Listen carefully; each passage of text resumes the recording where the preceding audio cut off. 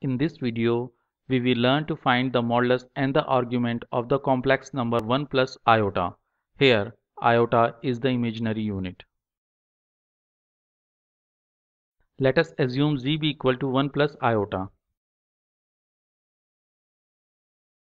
The complex number z can be represented in polar form as r times cosine of theta plus iota times sine of theta.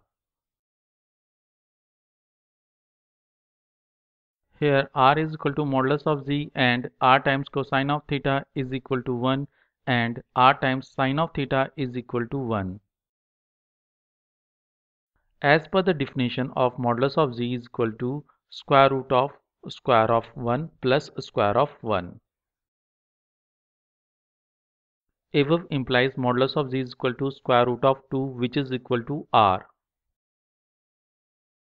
As we know, r times cosine of theta is equal to 1, so square root of 2 times cosine of theta is equal to 1. Dividing the above equation by square root of 2 gives us cosine of theta is equal to 1 upon square root of 2. Similarly, we get sine of theta is equal to 1 upon square root of 2.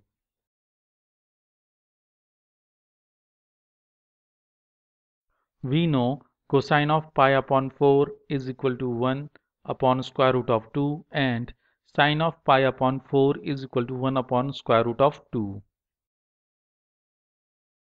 So the modulus of the complex number 1 plus iota is square root of 2 and the argument of the complex number 1 plus iota is pi upon 4.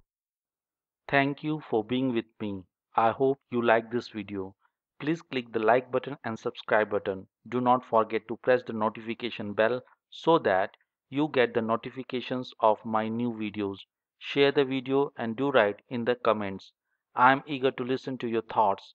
If you have any question related to video, if you think I should make a video on any other topics in which you are interested, please write in the comments. Thank you.